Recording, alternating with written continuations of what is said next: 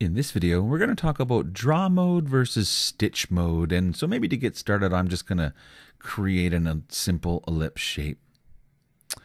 And I'm going to right click and give it a satin serial outline that has maybe a three millimeter wide border and make it red. And we'll choose for fill and net fill and make that blue. And so you can see what I've created.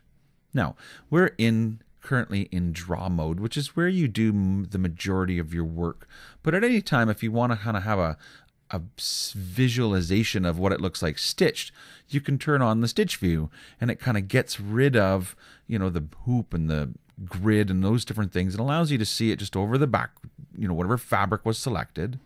You can turn on the 3D preview at this time as well. So in stitch mode, you know, in draw mode, you can have 3D preview on or off and also in stitch mode you can have 3D preview on and off. They're kind of independent.